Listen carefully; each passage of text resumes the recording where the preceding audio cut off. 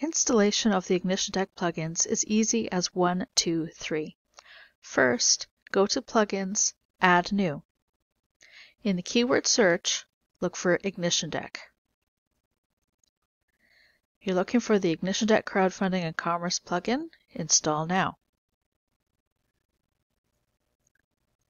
And go ahead and activate it. The IgnitionDeck plugin actually has several dependencies. You will see a notice here to install ID Commerce and IgnitionDeck Crowdfunding. Click the Begin Install Plugins link. Install ID Commerce. Click the Return to Required Plugins installer.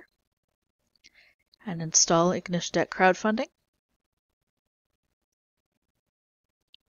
Again, return to the installer and activate both of those plugins. The final step, if you are using the free version of the IgnitionDeck plugin, is to install the 500 theme.